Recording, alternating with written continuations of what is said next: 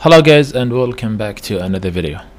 This is Muhammad Najim and today I'm going to talk about one of idioms. It's good to use and it will help you to make your English better and better. So we have today needle in haystack. Needle in haystack means that you are searching for something in a very difficult situation for example. Needle in haystack means it is very difficult or impossible to find something and you're searching for something for example.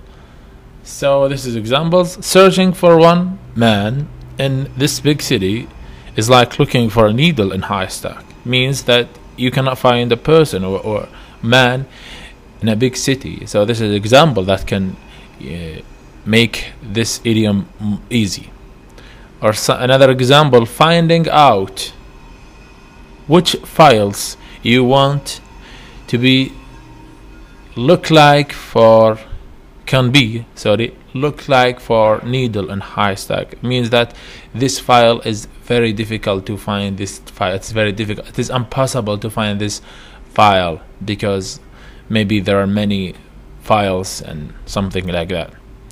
Another example.